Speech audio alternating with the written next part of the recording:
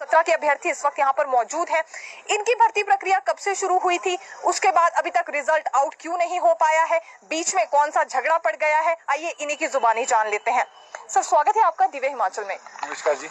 आ, जी sir आज जे post code 817 के अभ्यर्थी यहाँ पर पहुँचे हैं। फ़िलहाल किससे अभी तक मुलाकात कर चुके हैं? और विस्तार से थोड़ी सी अपनी अ, अपनी समस्या के बारे में जानकारी दीजिए। नमस्कार मैम। हम अभी जैसे सुबह से आए हैं। सुबह सात बजे रूम से निकलाए थे। और काफ़ी दूर दूर से आए हैं, कांगड़ा से, बिलासपुर से, चंबा से। चंबा से भी कई बंदे आए हैं, तीसरा से भी आए हैं।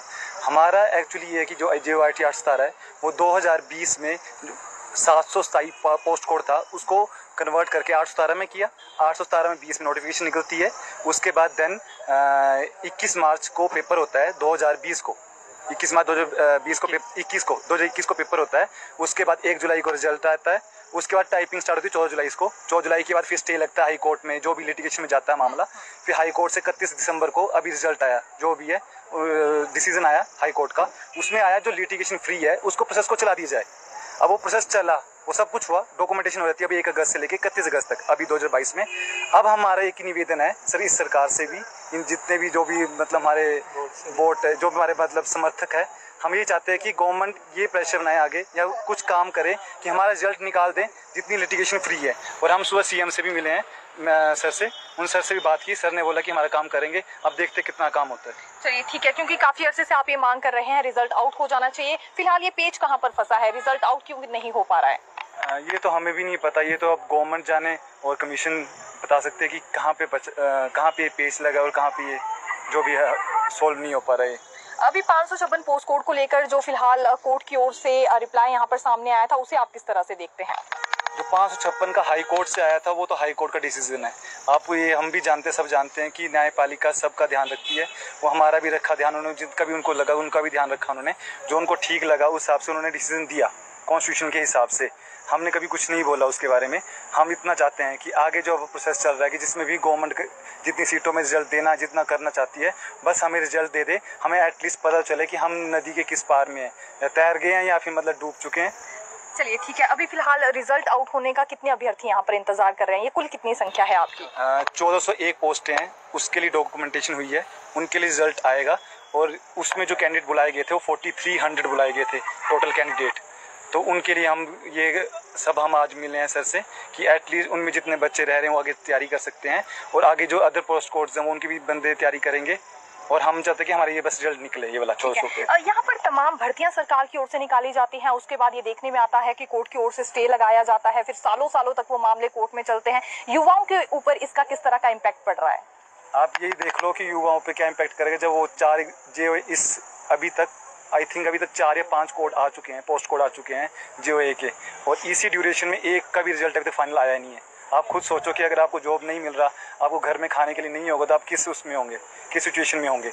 चाहे सर जिस सिचुएशन में जिस एज में बंदे को अपना आगे काम करना चाहिए कुछ करना चाहिए वो भी पढ़ाई कर रहा है और यहाँ पे धक्के खा रहा है। दूर दूर इससे से पहले कितनी दफ़ा आप मुलाकात कर चुके हैं? यहाँ पर सरकारी अधिकारियों से भी और बाकी मंत्रीगणों से भी अगर हम बात करें।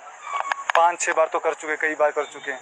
हर कोई जो किससे पूछो किससे बात करो तो वो बोलते हैं उनके पास जाओ उनके पास जाओ। तो हमें तो कुछ समझ में नहीं आ रहा अभी। अभी हम आज सुबह सीएम सर से मिले। उन्होंने काफ़ी आश्वासन दिया है कि आपका काम होगा और जल्दी होगा पर हमारी भी रिक्वेस्ट यही है सर से कि जल्दी जल्दी हमारा जल्द निकाल दिया जाए।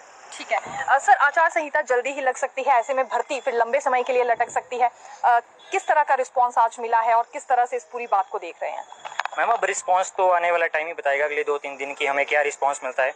और कमीशन की तरफ़ से क्या गाइडलाइन आती है से क्या गाइडलाइन आती है रिज़ल्ट वो निकालते हैं कि नहीं निकालते हैं, क्योंकि जे ओ आई टी आठ सौ सतारह पिछले तीन साल से फंसा हुआ है। ऐसा नहीं है कि अगर मान लो ये एक लिटिगेशन बोलते हैं जे ओ आई टी नौ सौ तीन का रिज़ल्ट ये नहीं निकाल पा रहे हैं जे ओ आई टी नौ सौ उनतालीस का रिज़ल्ट ये नहीं निकाल पा रहे हैं, कभी ए, एक स्टे होता है दूसरा स्टे होता है तो बार बार ये सारी चीज़ें चल रही हैं तो इससे हरासमेंट बहुत ज़्यादा हो रही है। तो इसलिए अब हम चाहते हैं कि इस हरासमेंट को बंद किया जाए। चंबा से लोग 24-24 घंटे का 12-12 घंटे का सफ़र करके आ रहे हैं तो बहुत हरासमेंट हो रही है तो हम चाहते हैं कि हरासमेंट बंद हो और रिज़ल्ट आए। एक आए दो आए सारे रिज़ल्ट आए और ये ज़्यादा फंसना बंद हो अ, ठीक है इसके बाद भी अगर रिज़ल्ट आउट नहीं होता है क्योंकि जल्दी ही जैसा कि एक चीज़ हम बार बार दोहरा रहे हैं आचार संहिता लागू हो सकती है तो क्या कदम आपकी ओर से उठाया जाएगा? काफ़ी संख्या में है क्योंकि आप लोग। मैम हम तो कदम पिछले दो सालों से उठाए रहे हैं। एक बार शिमला में हम तीन तीन से चार बार हम शिमला में आ चुके हैं। एक हड़ताल हमने कमीशन के बाहर करी जहाँ भी हम चार से पाँच दिन लगातार दिन रात वहाँ पर हमारे साथ ही रुके हैं। तो बस करते रहेंगे हम तो यही चाहते हैं कि जब तक रिज़ल्ट नहीं आएगा हम क्या कर सकते हैं? हम तो ये डिमांड कर सकते हैं कि हमारा रिज़ल्ट निकालें और जब तक रिज़ल्ट नहीं आएगा तब तक हम ये डिमांड करते रहेंगे। अच्छा पोस्ट कोड पाँच सौ छप्पन का कितना इम्पैक्ट इस भर्ती में देखते हैं?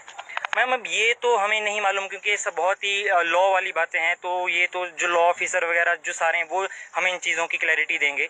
तो हमें इसमें कुछ भी क्लैरिटी नहीं, ना हमीरपुर बोर्ड हमें बता रहा है कि हमारा रिज़ल्ट क्यों डिले हो रहा है। अगर हो रहा है तो उनको एक क्लैरिटी हमें देनी चाहिए कि इस चीज़ के लिए डिले हो रहा है और इतने टाइम तक होगा। तो हमें क्लैरिटी मिल जाए तो हम ये तो चाहते हैं क्लैरिटी तो मिले। ठीक है, कमीशन की तैयारी फ़िलहाल युवा कर रहे हैं और दिन रात इन्हें मेहनत करनी पड़ती है। उसके बाद जाकर भर्ती प्रक्रिया के कई तरह के प्रोसेसेस भी यहाँ पर पूरे हो जाते हैं। यानी कि अगर हम लेवल्स की बात करें और फिर अंत में रिज़ल्ट आउट नहीं किया जाता है, जिस वजह से ये काफ़ी ज़्यादा परेशान हो जाते हैं। कुछ एक लड़कियाँ भी इस वक्त हमारे साथ यहाँ पर मौजूद हैं। जानना चाहेंगे फ़िलहाल इनकी ओर से भी इसमें क्या कुछ कहना है। बस मैम हम तो यही चाहते हैं कि हमारा रिज़ल्ट जल्दी से जल्दी आ जाए तो हमारे लिए उतना ही अच्छा है। देखो, आप ही देखो कि मतलब एक दो साल से ये रिज़ल्ट कब से फंसा हुआ है, इसमें और भी है और पोस्ट कोड है, वही इसमें फिर से रिपीट हो जा रहे हैं। और आप देखो, आगे जो इन्होंने मतलब नई वैकेंसीज निकाली है, वो उसमें भी वही वाले बच्चे होंगे।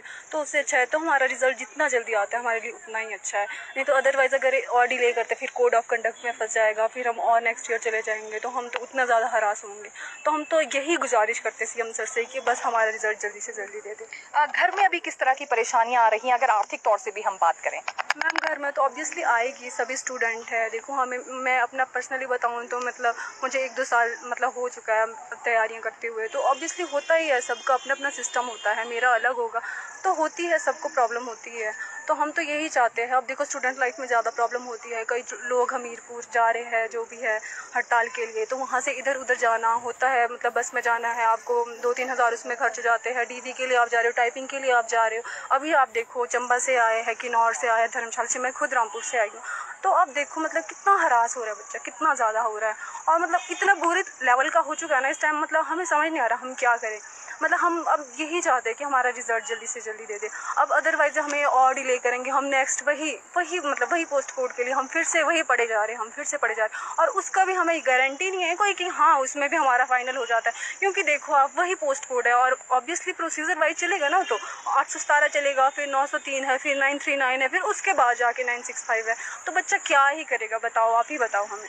ठीक है। बहुत बहुत शुक्रिया हमसे बात करने के लिए। अभी फ़िलहाल यहाँ पर देखा जा सकता है जे पोस्ट कोड्स की जितनों की भी हम बात कर ले, कुछ ना कुछ इसमें पेज फंसे हैं, भर्तियाँ लटकी हैं और ऐसे में पोस्ट कोड 817 की अभ्यर्थी तो पिछले दो वर्षों से यहाँ पर इंतज़ार में बैठे हुए हैं। अब अगर आचार संहिता लग जाती है तो इनका रिज़ल्ट फिर से फंस जाएगा। यानी कि फिर इन्हें इंतज़ार करना पड़ेगा अगले सरकार का, अगले वर्ष तक का। तो कब तक ये इसी तरह से बेरोजगार बैठे रहेंगे, वो भी तब जब इन्होंने एक तरह से ये भी ठान लिया हो कि कमीशन इनका लगभग क्लियर हो ही चुका है। महज रिज़ल्ट का इनका इनका भी यहाँ पर इंतज़ार हो रहा है। सरकार की ओर से हर बार आश्वासन यहाँ पर ज़रूर दिए जाते हैं, लेकिन अभी तक रिज़ल्ट आउट नहीं हो पाया है। अब इन्हें एक बार फिर एक तरह का यहाँ आश्वासन मिला है। देखना होगा, आचार संहिता लागू होने से पहले पहले ये रिज़ल्ट भी आउट हो पाता है, नहीं हो पाता है। तमाम ऐसे ही वर्ग आज यहाँ पर अपनी अपनी समस्याओं को लेकर पहुँचे हुए हैं। चलिए, अगर कर्मचारी वर्गों की बात करें तो उनकी अपनी समस्याएँ चली हुई हैं, लेकिन दूसरी ओर ये बेरोजगार युवा भी हैं, जो पढ़ लिख कर मेहनत कर रहे हैं। दिन रात एक कर देते हैं कि किसी तरह से एंट्रेंस टेस्ट क्लियर हो सके। लेकिन उसके बावजूद भी अगर दर बदर की ठोकरें इन्हें खानी पड़े तो फिर भर्तियाँ निकालने का ही क्या फ़ायदा है? तो फिर मिलेंगे नई खबर के साथ।